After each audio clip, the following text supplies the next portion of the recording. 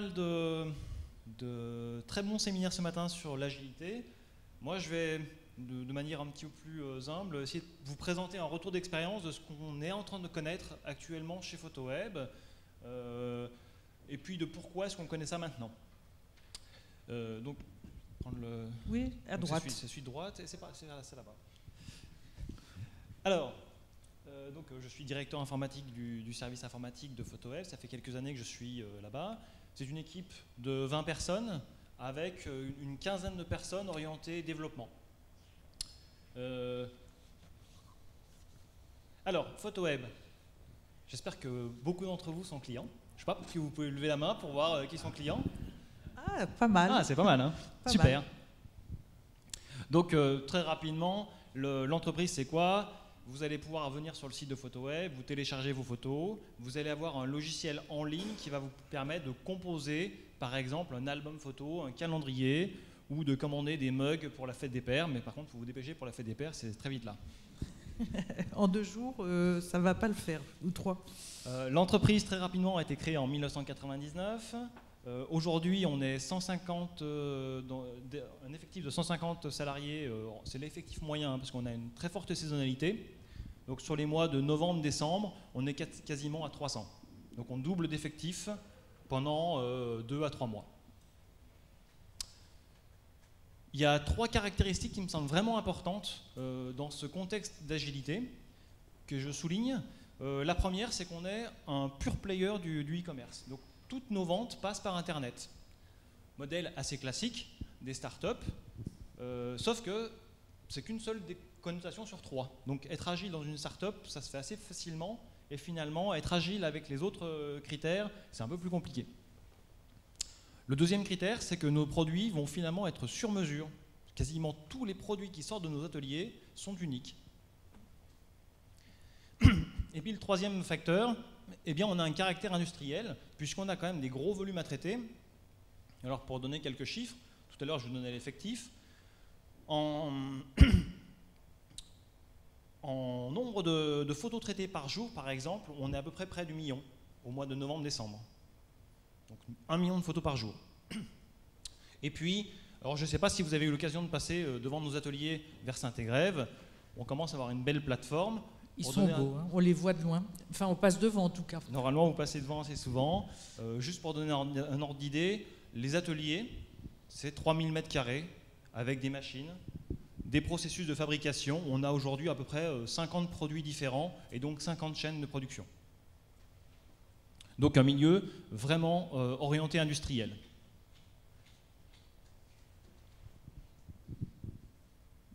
Alors, ah, voilà, je suis, allé, je suis allé un petit peu trop vite.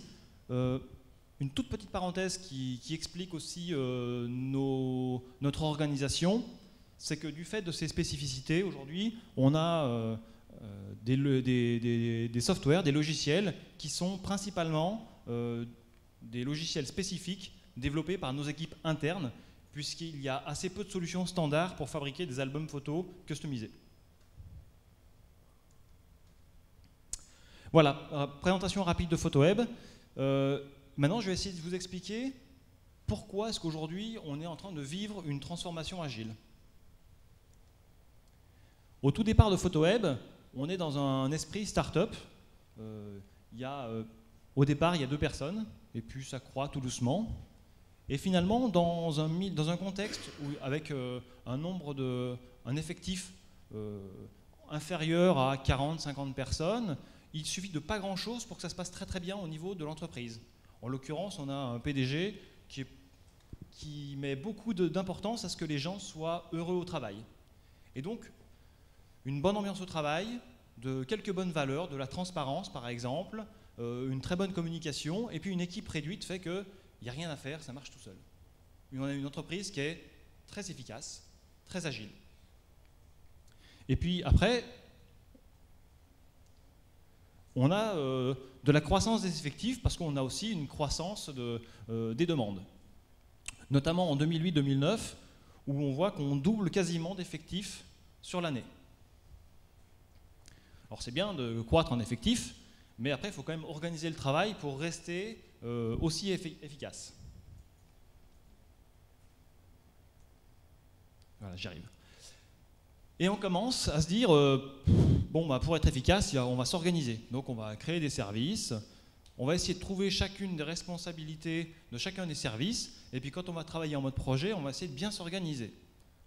Alors certains services vont s'occuper de l'analyse stratégique, un autre service va s'occuper du design, un autre service va s'occuper du développement.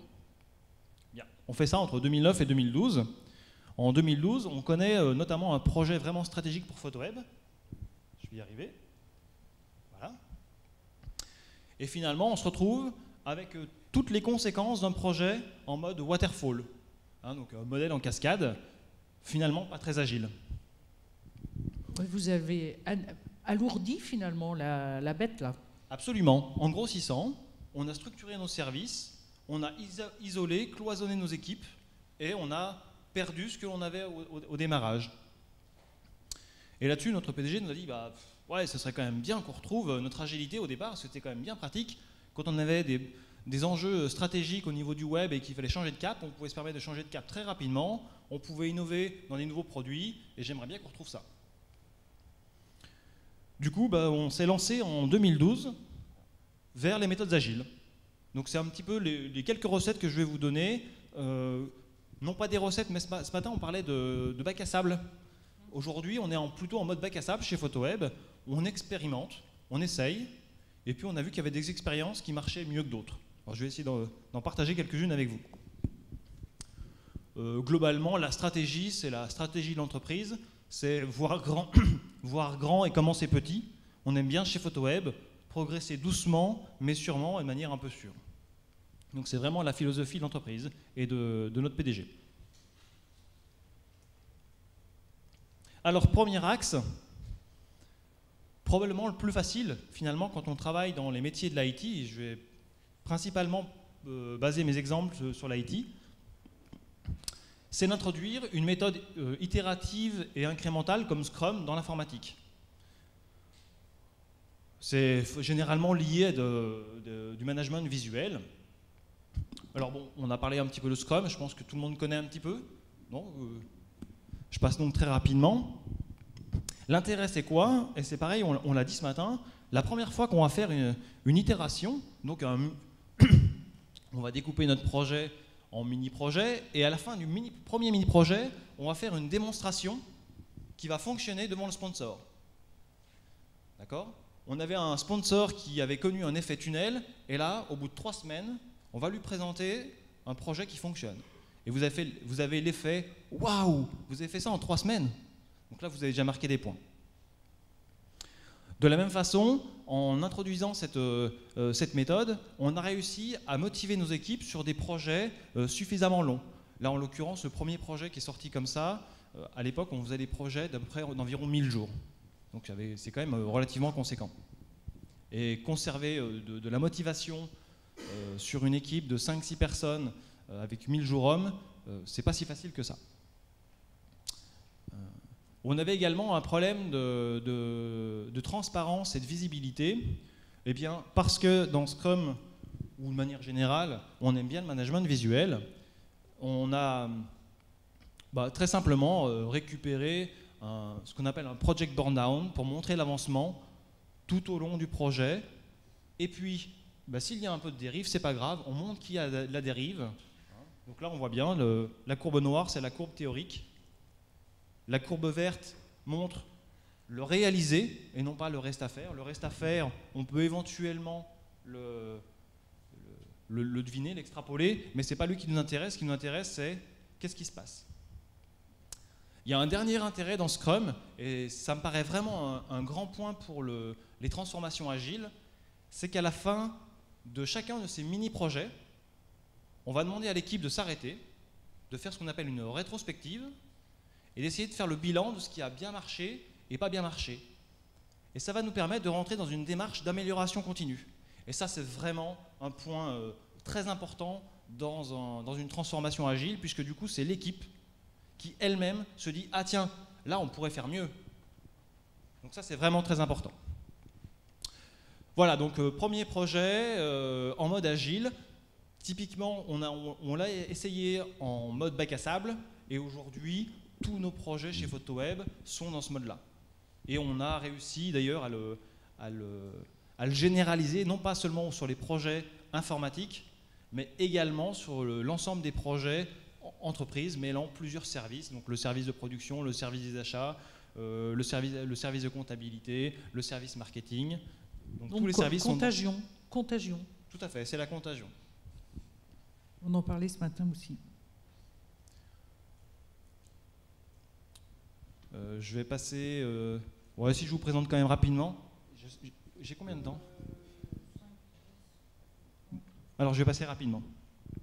Donc celui-là, on va le passer. On a, utilisé d'autres outils, hein, typiquement la notion de time boxing qui est important, qui permet au service métier de prioriser les demandes euh, en, en, condensant finalement, en laissant un nombre de jours moins important, et ça oblige à bien prioriser les demandes et à s'assurer que le besoin, il est vraiment indispensable. Parce que souvent, dans les, dans les, dans les projets informatiques, on a tendance à vouloir beaucoup plus que le besoin initial et donc à passer beaucoup de temps. Et finalement, la valeur ajoutée du projet, elle tient souvent dans les 80% du, des besoins exprimés initialement. Donc voilà, ça c'est ce qu'on appelle le time boxing. Il y a un autre point clé qui nous a paru intéressant. Donc on, a travaillé euh, au, tout départ sur les projets IT et on s'est dit mais c'est un peu dommage parce que l'ensemble de l'entreprise ne bénéficie pas de, cette méthode. Donc on a essayé de généraliser ça. Et pour ça, on a créé un poste euh, de responsable projet transverse. En fait, euh, avant cette période-là, on avait donc des services qui travaillaient dans chacun des services. On avait finalement une mini-équipe projet. Et puis, bah, il n'y avait pas forcément de discussion, d'échange euh, au sein de ces services. Il manquait tout simplement de la cohésion. Et donc, on a mis une personne qui travaille en mode transverse, qui vient casser un petit peu ces silos, qui fait en sorte que les équipes retrouvent de la cohésion entre elles, euh, quel que soit leur métier, et, puis, et, du coup qui apprennent aussi les métiers des autres. Donc pour nous, euh, c'est vraiment la clé de voûte de notre organisation agile. En tout cas, ça nous a permis de, de lancer ce courant d'agilité au niveau des projets chez PhotoWeb. Alors il faut quand même avoir une personne qui tienne vraiment la route. Euh, et qui se mettent euh, notamment dans une position de servant manager. Si vous mettez quelqu'un qui, qui, n'est pas dans ce courant-là, ça va être très très compliqué et vous n'allez rien pouvoir tirer de, ça. En tout cas, nous, c'est l'expérience que, que l'on en a fait. Alors, euh, qui plus est, cette personne aime beaucoup l'agilité, les, jeux. Donc, on a introduit chez PhotoWeb certaines techniques, soit de réunion, soit de, de, méthodes de, pour, créer la cohésion. Donc par exemple, un, jeu que l'on trouve assez classiquement, c'est l'arbre des valeurs, je ne sais pas si vous connaissez. Ça permet à toute l'équipe, et quand je parle d'équipe, ce n'est pas une équipe informatique, c'est bien toute l'équipe projet, d'exprimer ses valeurs, de partager ses valeurs avec le reste de l'équipe, et puis au fur et à mesure des itérations, de voir si ces valeurs, elles sont bien préservées. Finalement, les règles, il ne faut pas qu'elles arrivent en mode top-down, il faut qu'elles arrivent de, l'équipe et de partager ces, valeurs fait que les règles elles deviennent naturelles au, niveau de l'équipe. Un autre, jeu également euh, que je trouve très intéressant au niveau des équipes, on va essayer de faire en sorte de responsabiliser au mieux les équipes. Et donc qui dit responsabiliser dit prise de décision, prise de risque. Par contre, prendre des risques, c'est pas simple. Donc on a euh, le, jeu des cubes qui permet de justement travailler le niveau de risque que l'on est capable de prendre. On estime un niveau de risque et on va jouer au jeu où on va empiler des cubes, donc ça paraît rien d'empiler des cubes, mais on va essayer d'estimer le niveau de risque que l'on prend en jouant. Donc voilà, c'est un, jeu assez classique, je ne sais pas si vous connaissez, je pourrais vous donner plus d'informations si vous le souhaitez. Donc on a travaillé au niveau des projets IT, après on travaille au niveau des projets entreprises, et puis, nous-mêmes, chefs de service, on travaille sur, les roadmaps. Et on s'est aperçu que finalement, euh, nous, chefs de service, on n'était pas très agiles. On, travaillait sur des roadmaps annuels, notamment la roadmap 2014. Et en fin de roadmap, quand on a regardé les projets qui avaient été réalisés versus tous ceux qui avaient été euh, Analyser et travailler en amont, eh ben la roadmap était vraiment différente. Donc du coup, on s'est dit que ce n'était pas la bonne façon de faire, euh, et qui, nous aussi, au niveau du travail de la roadmap, il fallait qu'on rajoute un petit peu d'itérativité et euh, d'incrémentalité là-dedans. Alors pour vous donner un ordre d'idée, au lieu de travailler sur une année complète, chez PhotoWeb, on s'est aperçu qu'on avait une bonne visibilité à 4 mois généralement. 4 mois, c'est à peu près la bonne moyenne pour nous. Et donc, qu'est-ce que l'on a fait? Eh bien, on a essayé de découper l'année en 4-5 mois. À chaque fois, on se donne de la visibilité sur les projets qui sont lancés et en cours. Cela pour ne pas perturber les équipes, euh, et puis parce que ça a du sens au niveau de l'entreprise, on les mène jusqu'au bout. Mais par contre, les projets qui doivent arriver par la suite, ça ne sert à rien de les travailler un an ou plus tôt. On va les travailler 2-3 mois avant leur démarrage. Et puis finalement, même au niveau des objectifs financiers de l'entreprise, si on a un projet qui doit arriver qui n'était pas prévu, c'est que s'il n'est pas prévu et s'il est prioritaire par rapport aux autres, c'est qu'il va ramener plus de valeur ajoutée pour l'entreprise. Donc on a tout à y gagner. Alors un exemple assez marquant, ça c'est la, roadmap que l'on a fait en novembre euh, de l'année passée. Donc en violet, les projets qui sont en cours, qui sont lancés. En rouge, les projets du second semestre. En avril, on a eu une annonce de Google qui a bloqué une fonctionnalité sur son navigateur Chrome. Chrome, c'est 30% de nos utilisateurs. Et cette fonctionnalité empêche nos clients de commander un livre. Donc autant dire qu'il a fallu rapidement trouver une solution. Eh bien, en moins d'une semaine, donc c'était euh, courant avril, en moins d'une semaine, on a revu complètement la roadmap du deuxième, euh, du deuxième semestre, et sans perdre aucune efficacité, puisqu'on n'avait encore pas trop travaillé. On avait vraiment fait une macro-analyse. Donc voilà, je pense que ça, c'est quelque part, en travaillant ainsi, on retrouve un petit peu euh, l'agilité d'une start-up. on est capable de changer de cap, comme ça, en, en une période très courte.